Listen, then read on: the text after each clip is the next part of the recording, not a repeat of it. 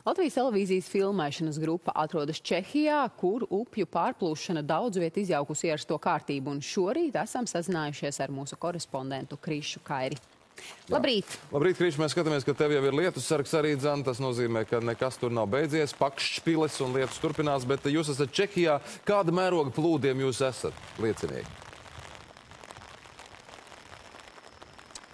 Jā, labrīt, kolēģi. Prieks jūs dzirdēt. Pirmkārt, jau jāsaka, jo vakardien visu dienu faktiski bijām bez sakariem, bijām bez interneta, bijām Jesenēkas pilsētā Čehijas ziemeļaustrumos, vairāk pie Polijas robežas, un tur tie plūdi bija nu, viena no faktiski šokējošākajiem skatiem, kādus es personīgi noteikti vispār jebkad esmu redzējis cilvēku mājas sabrukušas. Daudziem bija arī ziņas, ka, piemēram, kāda ģimene turpat Jesenēkas pilsētā iebraukusi ar mašīnu uh, ūdenī un uh, lielākā daļa no ģimenes arī aizgājusi bojā.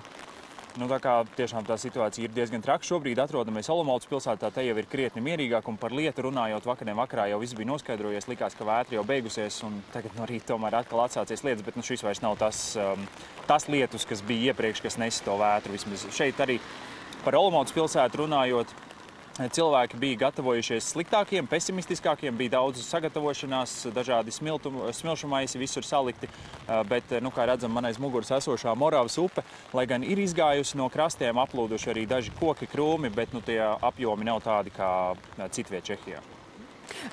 Ko jūs iepriekš redzējāt, vai jūs uh, varat izdarīt secinājumus par to, cik aktīva, cik liela ir dažādu dienestu iesaistē, gan, protams, organizējot palīdzību, rīkojot evakuācijas? Es domāju, daudz cilvēki uh, iespējams tev ir teikuši vārdus, ka es neko tādu savā mūžā nebiju piedzīvojis. Uh, kā Čehija ir tam, cik lielā mērā vispār nu, viņa ir gatava kaut kam, kaut kam, kaut kam tādam, jo, protams, brīdinājumi bija, bet tīri praktiski, kā jūs redzat, nu, kā tas viss uz vietas strādā? Mm. Eh, bijām Čehijas otrajā lielākajā pilsētā Brno. Tas vēl sestdien, kad vētra nebija sākusies. Tur gatavošanās likās tiešām pilnā sparā. Un tad, eh, dodoties uz šo Jesinēkas pilsētu, aprunājāties tur ar vietējiem iedzīvotājiem, viņi teica, ka patiesībā nemaz nesot bijuši gatavi tam, lai gan dzīvo tieši pie upes, piemēram, nu, arī eh, vakardien, faktiski jau pēcpusdienā bijām liecinieki vienai no evakuācijām, kur kāds vecs pāris tika ar laivu ugunsdzēsēju viņus pārlaid pāri izlaida ārā no mājām, pēc tam tur arī emocionāli satikšanās ar saviem ģimenes locekļiem. Un šie cilvēki bija ignorējuši evakuēšanās draudus. Viņiem uh, iepriekš dienesti bija teikuši, lūdzu, evakuējieties. Viņi teica, nē, mums šķiet, ka tas nav tik nopietni, nevajadzēs.